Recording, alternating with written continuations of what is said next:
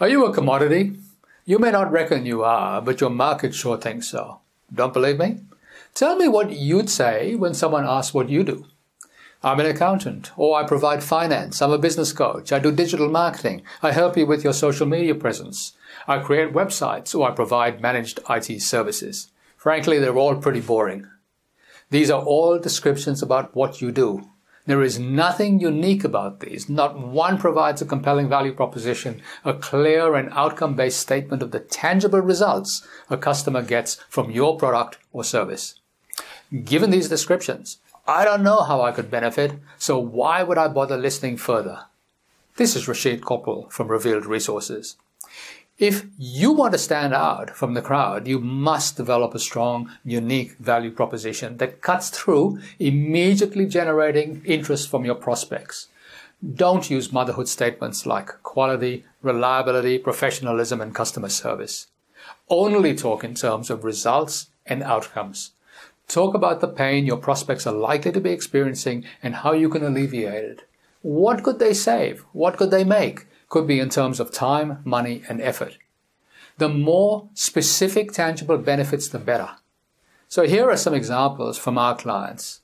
A financial planner who works with clients preparing to go into aged cares minimizes their bond and daily cares fees while maximizing their benefits from Centrelink, potentially saving themselves thousands of dollars a year or the investment property buyer who helps clients find, negotiate, and settle on undervalued property so they make money right from the start. On average, they secure property at fifteen to twenty thousand dollars below market value, so clients get an immediate return on capital investment, which continues to grow long term. And finally, the photographic lab servicing professional photographers who guarantees the physical prints will exactly match the captured images with no additional work on the photographer's part, or they get 110% of their money back. Being specific and dealing and detailing tangible benefits gets attention and encourages your prospects to ask for more information. Now it has another benefit too. A strong, tangible value proposition helps you value your own product or services more. It builds your courage and confidence so that you can pick up the phone and write to a prospect knowing that you add value and should at least be given a hearing.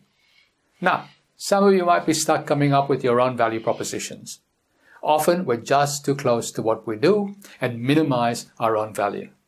One of the best ways to find the answer is to ask your clients. Call them up and ask what value you provide. What are the benefits? What did you do to help them? You might be surprised at what they come up with. So wrapping up, if you'd like additional help determining your uniqueness and you can't do it yourself, give me a call. And finally, if you find this video useful, I'd appreciate you hitting the like button, sharing it, and leaving a comment below. Until next time, this is Rashid Kotwal.